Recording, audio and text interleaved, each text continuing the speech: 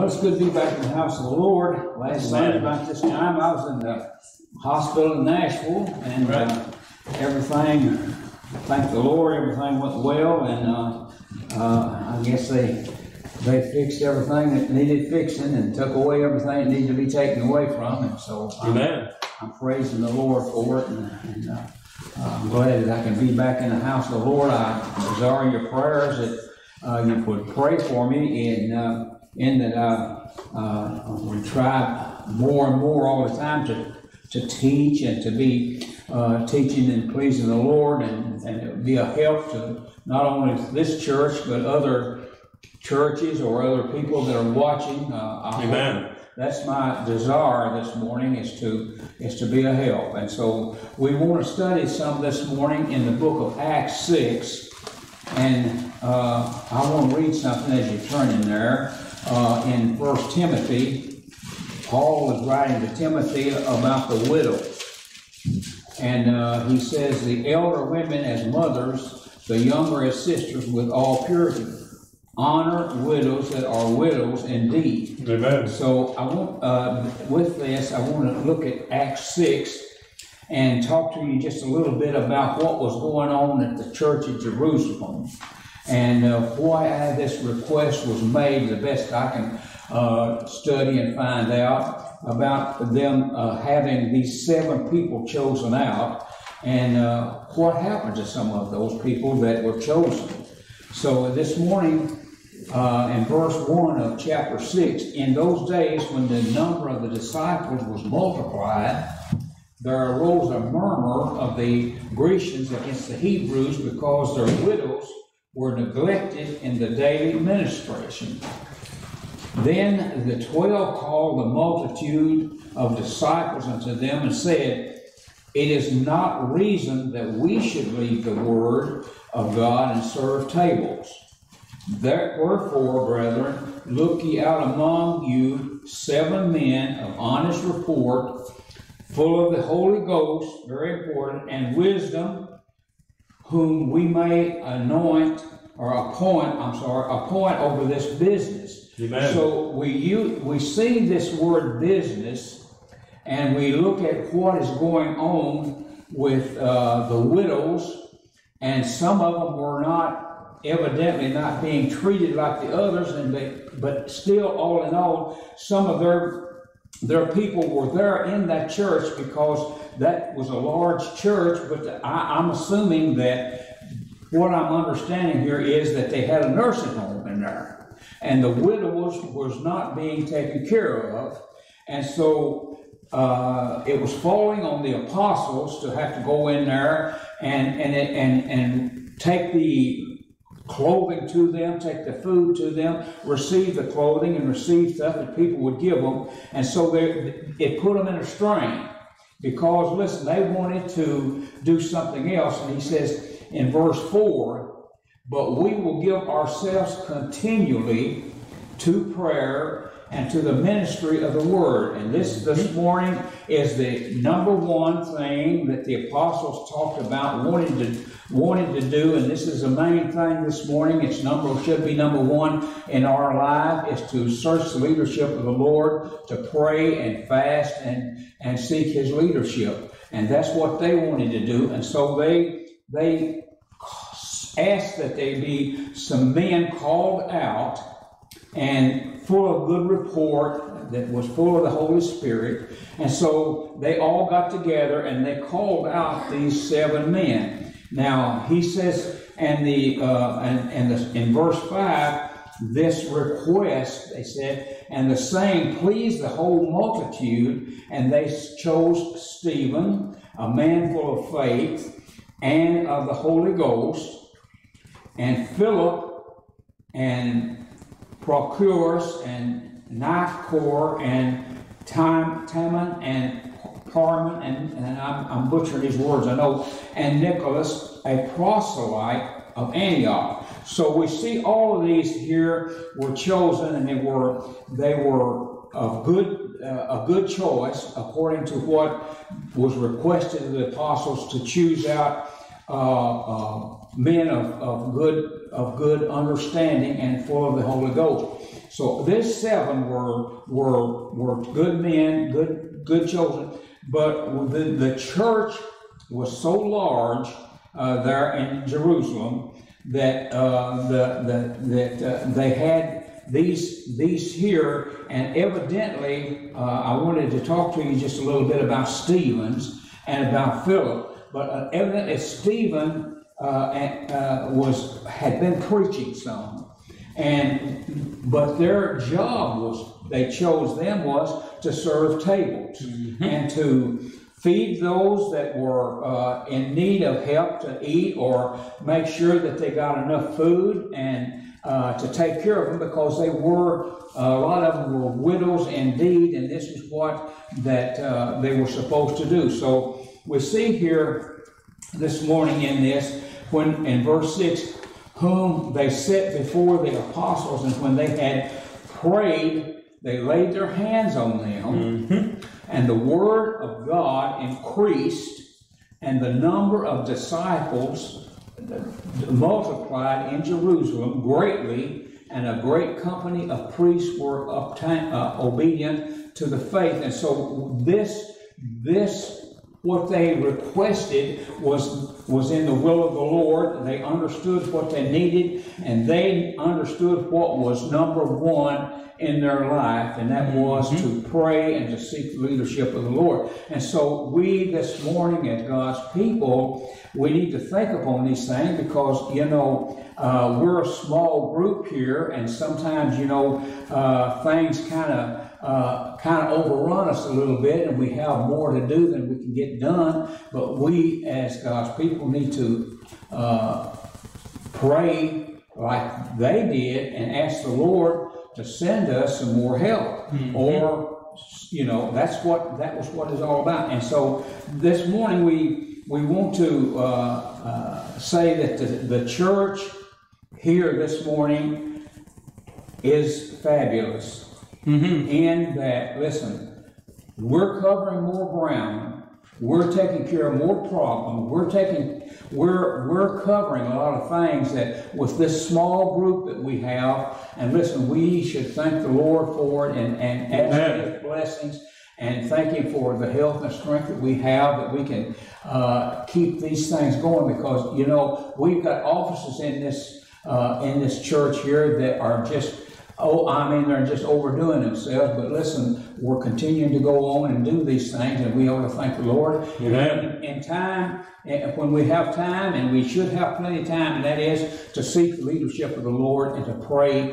for this church that it might continue to prosper and to uh, uh, help other people because we that's one of our desires this morning is to help other people Amen. and to see see what uh, and to understand what they're doing and for us for them to understand what we're doing. So here in this stephen in verse 8 and stephen full of faith and power Amen. did great wonders. Now notice and miracles among the people.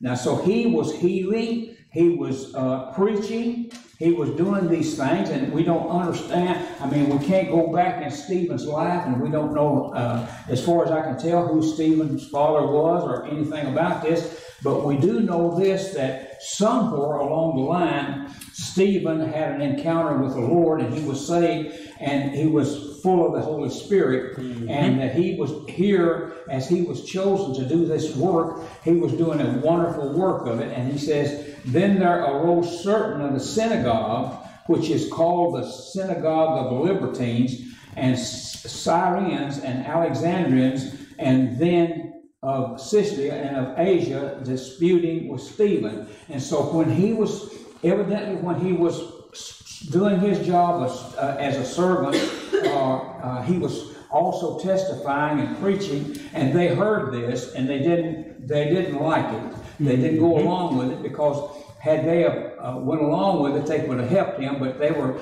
they were there just to aggravate and to uh, argue with him. So here in, in in in verse ten, and they were not able to resist the wisdom and the spirit by which he spake. Amen. Now he was he was, and listen to this. Then they stubborn or uh, bribed men which said, We have heard him speak blasphemous words against Moses and against God. And so they could not, they could not speak against him because he was so much more uh, wisdom through God, and they and he put them down every time. But they went out here and, and they hired uh, men to go up and, and, and swear that they heard him do these and do these things. But anyway, we'll see what happened. And they stirred up the people and the elders in verse 12 and the scribes and came upon him and called him and brought him to the council and, and set up false witnesses which saith, This man ceaseth not to speak blasphemous words against this holy place and the law. And so they were in the temple there. They they they uh, thought more of the temple and, and, and all. They worshiped the temple, uh, and so they they were blaming Timothy. In verse 14, for we have heard him say that this Jesus of Nazareth shall destroy this place and shall change the custom which Moses delivered us.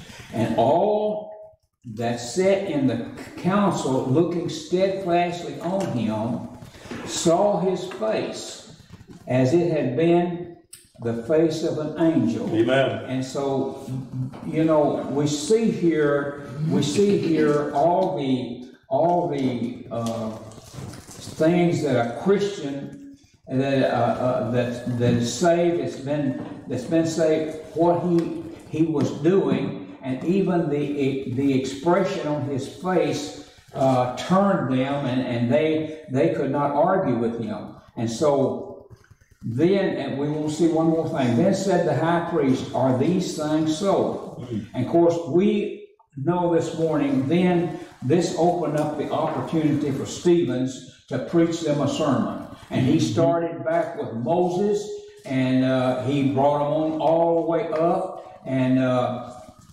uh, told them all these things, and so uh, they, uh, in, over in the uh, latter part of eight, uh, Uh, they uh, the in verse uh, eight and uh, I'm sorry, I'll get to you in a minute. Bear with me. they carried Stevens in verse.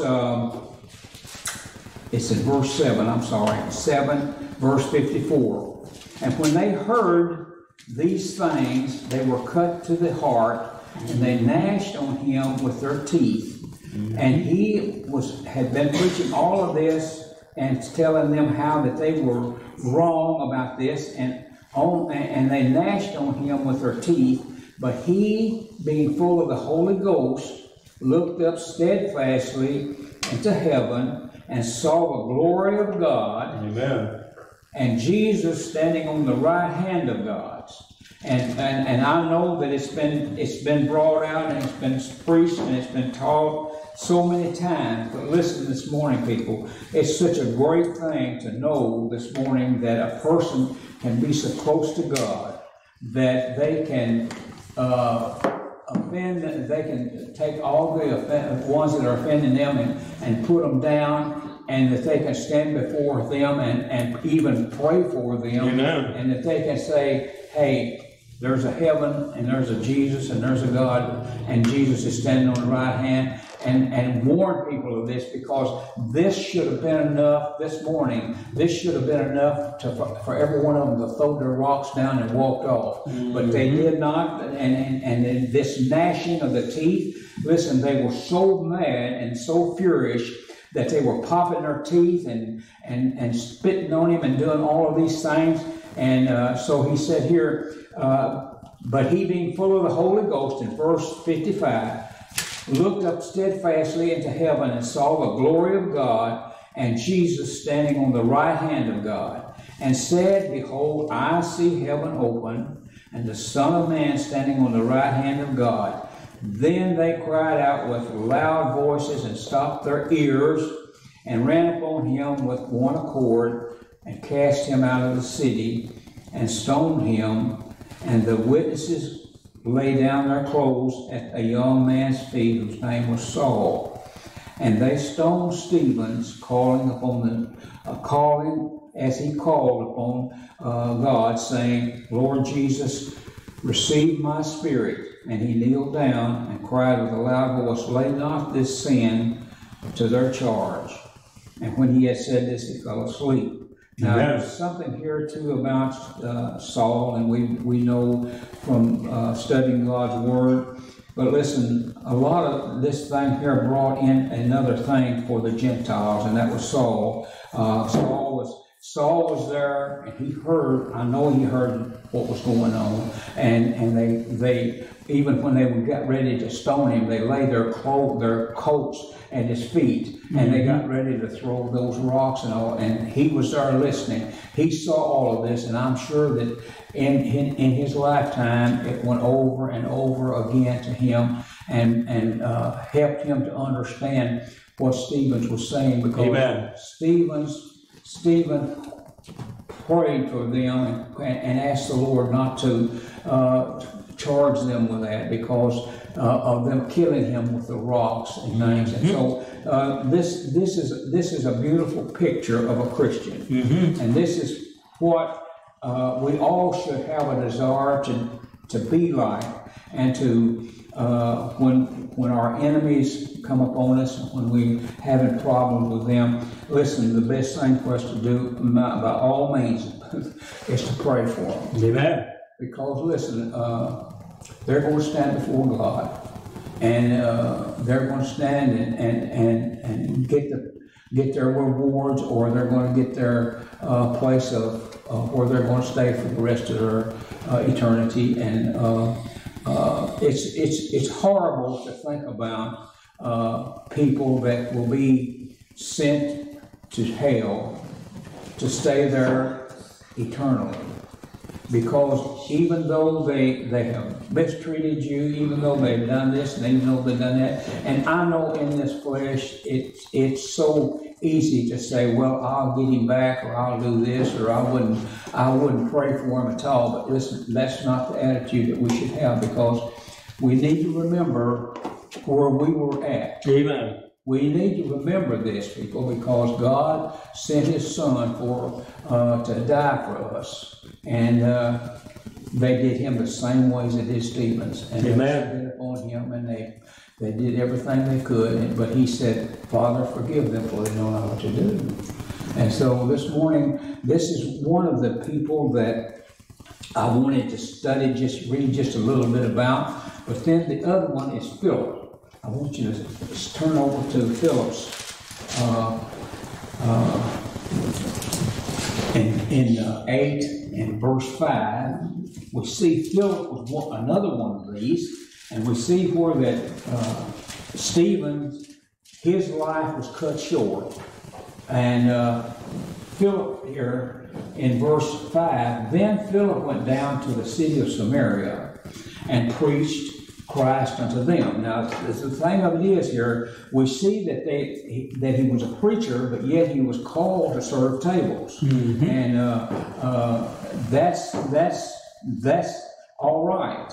Uh, uh, if Amen. a person can, if a person can accept uh, being and and I, I I'm a, I'm a thinking that in the eyes of man that was a lower position, but the thing of it is in our heart we we want to try to understand that uh, the the preaching would have been much better, but he was he was brought down to the point where that he went in there and helped those people with their with their meals and all, and so but here again he's out preaching. And so I don't know, uh, and I wonder sometimes about these other five that were called. You don't find out anything about them, what they did, and what. But here Philip went down to the city of Samaria and preached Christ unto them, and the people with one accord gave heed unto the, those things which Philip spake, hearing and seeing the miracles which he did. For the unclean spirit, crying with a loud voice, came out of many that were possessed with them, and many taken with palsy, and, and that were lame were healed. And there was a great joy in that city. Now, this is this don't sound like that it would be a servant uh, to serve people, but listen, he took this position because they asked him to do it. But I believe that he was, I know that later on he had a church and he, he, he pastored that church for 20 years. But here, we see here, there was a, a certain and, and, and a, a, certain man called Simon or Simeon, and and before time in this and before time in the same city used sorcery and bewitched the people of Samaria, giving out that himself was some great one. Now, in this, I see Stephen and what he had to buffet him, those people there. Here, we see Simeon or Simon as he is a, a pretender, he's a Judas, right. he's one here that is interfering or going to inter- try to interfere with the, the preaching of Philip. Right. And so he said, and there was a certain man called Simeon, which before time in the same city used sorcery and bewitched the people of Samaria, giving out that himself was some great one. And listen now, he he was riding these people good, and he was getting what he wanted out of them by trickery and by uh, by sorcery and he says in, in verse 10, to whom they all gave heed, from the least unto the greatest, saying, This man is the great power of God. So he had him blindfolded, he had him hoodwinked, and uh, they were they were he was getting what he wanted, and he was getting all the pats on the back besides this. And for him, in verse 11, they had regards because that a long time he had bewitched them with his sorcery. But when they believed Philip preaching the same concerning the kingdom of God in the name of Jesus Christ, they were baptized, both men and women. Simeon himself believed also. Now we have to we have to remember this as we as we try to study this, the word himself. Now, Simeon himself believed. He he did not, he did not uh, believe in, in God as, as his Savior at this time. So, and when he was baptized, he continued with Philip and wondering, beholding the miracles and signs which they were, were, had done. And when the apostles were at Jerusalem, heard that Samaria had received the word of God, they sent unto them Peter and John and so here Philip gets a little help. Here he gets a little support. And we're going to see here this is a minute how this happened. Who, in verse 15, who when they were come down, prayed for them that they might receive the Holy Ghost. Now, Simon didn't, Simon, and whatever Simon his name was, he didn't know anything about this. And uh, so he seen this. Now listen, and in verse 16, for as yet he was fallen upon none of them, only they were baptized in the name of Jesus. Then laid their hands on them, and they received the Holy Ghost. Now, this was a sight to behold because uh, uh, I'm sure that it was like in the Acts there when they, uh, on day of Pentecost, when they were all uh, the voice, right. I mean, all heard in the same voice and all this. Listen, something like this happened there, and he had never seen anything like this, and it amazed him. And listen, people, he wanted it. Mm-hmm. He wanted it, but he didn't want it for the right purpose. Amen. And this morning, that's the way with a lot of the world. They want it, but they don't want to. They don't want to pay the right price. They don't want to. They don't want to humble themselves. They don't want to say that God is is uh, uh, Lord and Savior, and, and and so they want they want this, but not at the price of uh, of, of, of, leaving the world. But here, uh, but in uh, but when they in verse, I think it's verse twelve. Let's see. Uh, yeah, verse twelve. But when they believe no, I'm sorry, I'm sorry. In verse 14, now when the apostles which were at Jerusalem heard that Samaria had received the word of God, and they sent unto them Peter and John. I, have done read that, but here in uh, uh, 15, for when they were come down, pray for them that they might receive the Holy Ghost. For as yet he had not fallen uh, upon none of them, only they were baptized in the name of the Lord Jesus. Then lay their hands on them, and they received the Holy Ghost. And when Simon saw that through laying on of the apostles' hands, the Holy Ghost was given, he offered them money. Mm-hmm. And you know what? Peter Peter got right with him. Mm-hmm. So listen, Peter, but Peter in verse 20 said, Unto him, thy money perish Amen. With thee, because thou hast thought that the gift of God may be purchased with money. And people, that's the same, that's the same thing that's going on today. People think that they can buy, that they can uh, uh, buy a home in heaven, they can buy the, the love of God, they can buy uh, whatever they want to and be what they want to be out here in the world. But listen, it don't happen that way. Amen. And Peter told him that, and listen to what he says here. Thou hast neither, in verse 21, thou hast neither part nor lot in this matter, Amen. for they for thy heart is not right in the sight of God. Repent therefore of this thy wickedness, and pray God, if perhaps the thought of thine heart may be forgiven thee. For I perceive, I perceive that thou art in the gall of bitterness and in the bonds of iniquity. Bad shape. Mm-hmm. Then answered Simeon and said, Pray ye to the Lord for me that none of these things which ye have spoken come upon me. And they, when they had testified and preached the word of the Lord, returned to Jerusalem and preached the gospel in many of the villages of Samaria. Amen. So we don't see we don't see the whatever happened to this man, whether or not uh, he, he don't give his testimony. It, all it does do is give that he was in the gall of uh, bitterness Right. and, and so we, we don't know. But the thing of it is, uh, this was, this was some of Philip's, uh, preaching, and I want you to turn with me, if you would, now to uh, Acts 21. And we will read just a little bit more here, and we'll, we'll go.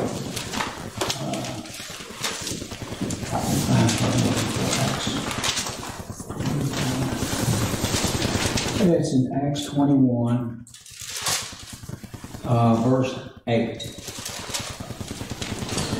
Uh,